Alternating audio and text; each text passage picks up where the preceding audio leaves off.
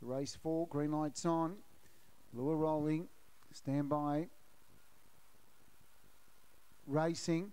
Slow to begin was Gian's Girl. First out, Big Buck leads the way from Myola Dawn. Railing through was Coolum Beach. Winding up now was uh, out wide was Crackerjack uh, Ollie. And uh, back at the tail of the field was uh, Gian's Girl into the home straight. And going through the lead now was Crackerjack Ollie kicked away. And Crackerjack Ollie scores from Coolum Beach. Third home was Myola Dawn. Then Gian's Girl and Big Buck.